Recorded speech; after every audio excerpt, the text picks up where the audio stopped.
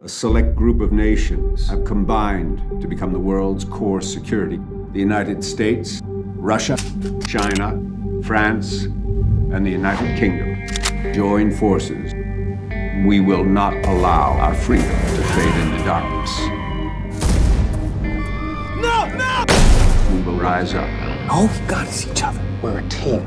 We got this.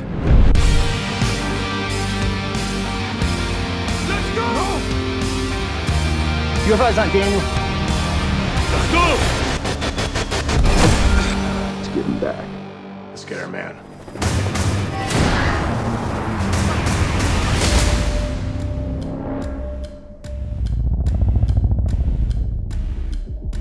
You look like shit.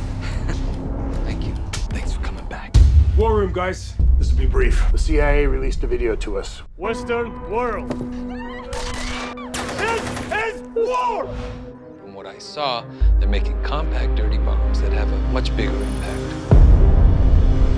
The world's watching. We don't come out on top. All this will be for nothing.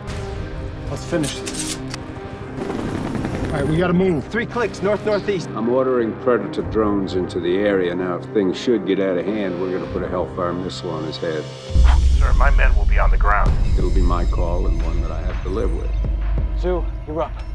Copy. You're clear. Three, two, one.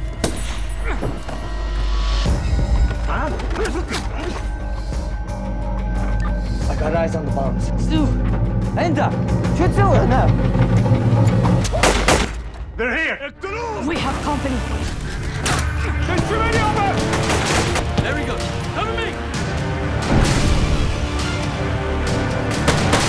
Lives are at risk if they smuggle those bombs out.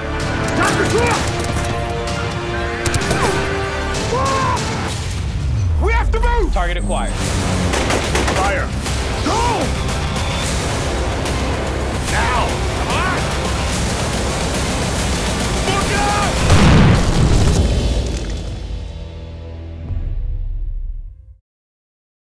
Hi there, so did you like the video? Well, stay with me as I have a bonus, if somewhat controversial, behind the scenes movie fact for you. D.W. Griffith, a pioneering Hollywood film director, is credited with using the first close up, the long shot, the fade out, and other film techniques in his 1915 groundbreaking and highly racist film, The Birth of a Nation, aka The Clansman. Now, do you like my shirt? You can get one for yourself in the link in the description.